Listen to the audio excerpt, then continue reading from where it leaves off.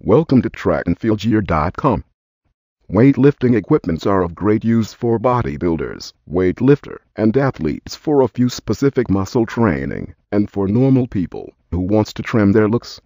It all depends upon the exercises that you take up and the time you spend with these equipments. If you are someone who is not interested in bulking up but just want to improve your fitness level then the right usage of these weightlifting equipments is just the right thing for you. Basically weightlifting improves the overall strength of the body muscles and keeps them fit. If you are